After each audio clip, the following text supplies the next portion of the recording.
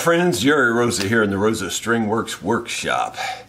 It is Wednesday. We had a good jam last night, uh, Tuesday evening, at the Dickey's Barbecue in Rolla, Missouri. And when I say jam, it's really our band practice, is really what it amounts to. Finally, dusting off some of those old tunes that we haven't done since before COVID. You know, it's kind of a learning curve again but we're having fun with it and uh, had a pretty good crowd there last night for a change. It's starting to catch on. People are starting to hear about it and they're starting to show up. So if you're ever in the area on a Tuesday evening, uh, you know, around 6, uh, anywhere from 6 to 8.30 or so, uh, we'll be at the Dickey's Barbecue there in Rolla, Missouri. Anyway, uh, moving on to the next thing. I am not a weather watcher, not at all. I like almost when the weather comes on, I generally turn the channel because I, I just, you know, don't care to hear what they have to say most of the time. However, this morning it kind of caught my attention because they were making it uh, look pretty bad pretty fast because of uh, the fact that they actually went out on location where the storms are going to hit. Now, I, not, I really haven't seen that much before, where they actually go out, you know, I mean, like on a big hurricane or something, yeah, they do that. But on like just a thunderstorm and winds and things, they they're out on location here in Missouri, and and they didn't name Valley Springs Ranch, but they were pointing to it on the map. So I'm kind of concerned. Right now, it's a super lull. I mean, like, you know, the lull before the storm, that's what's making me wonder. I mean, it's like it's just as still as just, it's not, no wind, nothing. Now, it's been crazy windy the last several days. Right now, it's like dead still and it's raining and uh, they are saying that there's going to be 70 mile an hour winds. Uh, you know, that's crazy. That's like hurricane. And uh, there's going to be, uh, you know, crazy lightning and thunderstorms. And so I woke my wife up to see if she needed to do anything, because she's the outdoor person around here, and to see if she had anything outside that she wanted to take care of, because uh, it sounds like it's going to get ugly. So she's putting her horses in the barn and things like that. Uh, just coincidentally, the other day it was so windy here, I went up and I nailed the tin back down really tightly and screwed it down on the front of my shop here because it was rattling. And I thought, boy, it's you know, it's getting, it's going to pull it loose, you know. Well, I'm glad I secured that down because it sounds like it's going to need it today for sure. Well, enough about that. Uh, you know, it hasn't happened yet, so it may be another one of those situations where the weathermen got it all wrong. But in case they got it right, I, you know, we're trying to prepare here. Um, catch you up on where I'm at on the mandolin here. Again, you will see the full-blown series eventually in a vid in videos where I go into the detail. I'm just showing you kind of a little bit here and a little bit there of what I've done since the last update. Okay, you can see here I got it kind of wrapped up and you may wonder, well, why has he got that all wrapped up? Well, it's because I've started putting the binding on the back. As we talked, I've decided to live with this color. I think it to me, as I mentioned, you know, being fat, dumb, and happy like I am, colorblind, it looks good to me. So I just going with it. You guys told me that it's good, so I'm going to say it's good. I was my biggest concern. The reason I was so bummed was that I was afraid everybody was going to go, "Oh, I can't believe he made it that color after all this work," you know. But you're all saying it's okay, so I'm going to go with it. Uh, you know, you don't know what you don't know. Well, I'm unwinding all this rubber here. This is just a long piece of inner tube that I took a scissors and cut a long strip. I tried to keep the strip around three quarters of an inch uh, wide. Uh, I get a little narrow in a place or two and a little wide in a place or two, but I just I just did it by eye and I just went around the circle of an inner tube and just kept cutting and kept cutting and kept cutting.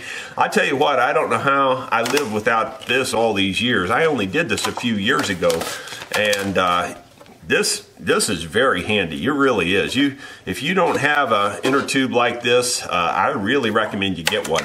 Uh, rubber bands are okay, long rubber bands, but they're not near as strong as this. This is way stronger, and it works really good. And you can see here how I've forced all that in there. This is real wood binding, and it's curly maple on top of that. And you know we're going around this tight curl. And yeah and this bend oh my goodness. Yeah this was not an easy thing. And I and it's still got little cracks and stuff like there's a crack here and there. I tried to use this to pull it as tight as I could and I did do pretty well. What I'm planning to do now is take like a burnishing tool and burnish this back in and super glue it in as I you know I'll see I glue it and then burnish it in. And hopefully it'll stay in uh, where these little tiny cracks are. I don't think you'll see them once we sand it and everything but you know, it could be that I'll end up tearing this whole mess back out of here. There, there's a close-up of it. It doesn't look that great right now, I gotta be honest. But you know, you gotta clean it all up and sand it down and smooth it out and all that. And, you know, based on my experience, uh, having done this quite a bit, I would say this looks fine. I think it's gonna be, it's actually a little better than I was anticipating.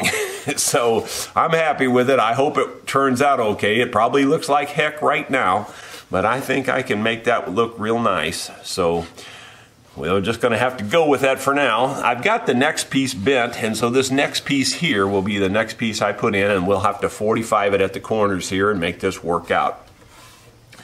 Okay, enough on that. Another thing I started, now this is not going to be very good on the camera because it's very, very light pencil drawing. Um, I think you can see it though. And you can see I'm drawing, I'm just hand drawing a vine and I, I don't know, I'll take them out of this little bag. I don't think you're going to be able to see them through this bag very well. Um, and of course on camera that's not going to work. I can't get this bag open. Okay, there it is. It's one of those little tiny Ziploc bags and it's zipped shut. Okay, let me pour these out in my hand here and of course they turn all upside down I try to show them to you just so you can see them. I'll try to turn them one direction so that it, it'll make more sense. But those are the little, those will be my position dots. They're little roses. And I cut those out yesterday. I think this one's nine millimeters. I think this one's seven and a half. This one's six and a half millimeters tall. And so up here, the big ones will go in, the, in these first four, then the next two small ones will go here, and then the tiniest one will go back down here. And uh, it's just a vine, and I haven't, you know, I'm going to have to make this darker, and then I'm going to have to scan this into Inkscape. And the reason I put this diagonal on this page is because this page will fit in my laser cutter. And then once I figure out the angle, I think I can get my whole fretboard in here and cut the whole slot and everything, and it should be perfect then. Um, and it'll save a lot of work. But I, as far as I can tell, this angle across here is um, 37 and a half degrees. And now that's all just measuring with um, you know, analog measuring tools. Uh, when I put it actually in the uh, Inkscape, I'll be able to tilt it and everything and, and, and fine tune that degree and hopefully get it right on this center line and I'll line that all up in my laser cutter and then I should be able to just lay this in here and everything should be hunky-dory and it should be really perfect. My idea is uh, you know, these will be the natural yellow roses just like I have on the rest of the mandolin. And then my idea is to leave the vine itself white and maybe make the leaves green. That's, that's my idea. I don't know if that's the way I'm going to end up. I may make the whole thing green. I really don't know. But I kind of like the idea of mixing it up a little bit. Again, you know, I'm probably not the best on choosing those colors. it just, is what it is. And uh, for those of you out there who haven't read the whole shirt, there you go. My daughter sent me this one. Yeah, the the taste of sadness. I actually would have reworded this. I, I told I told her when she bought this one. I said, "Well, had you consulted me on the wording on this one, I would have said lettuce, a waste of great compost for growing potatoes." yeah. yeah, that's pretty much the way I feel about lettuce. You know, most people say lettuce has no taste. It doesn't. it doesn't. Have, To me, lettuce, I'm, I'm, I'm not kidding you, I'm not saying this for dramatic effect, but lettuce has is one of the strongest, most horrible, horrific tastes in, on the planet. And you go, oh, it can't be. Well, it is, because I taste chlorophyll, and apparently lettuce has a lot of chlorophyll. I mean, it tastes horrible. I, I can't even tell you how bad it tastes. There is not one chance on this green earth that I could eat a piece of lettuce and get it to go down. And I'm not exaggerating, you may think I'm making this up, but I can go out and take a tree leaf and eat a tree leaf before I can eat a piece of lettuce. That's how weird my taste buds are. Yeah, that's not an exaggeration, that's a black and white fact. Anyway, that was a side, you know, that didn't cost you any extra for that information. it's just that I had this shirt on, so I had to explain it.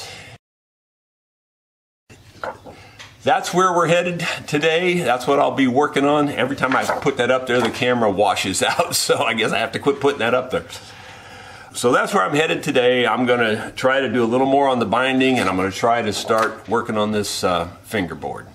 And as I mentioned before, hopefully a lot of this detail will be covered in the actual video on the series keep me in your prayers for the weather today. As it look, you know, according to the weathermen, this is going to be an ugly one. So uh, I'm just hoping that uh, they're wrong in this case. This would be one time I'd be happy that they're wrong. Thank you so much for watching. We'll see you tomorrow.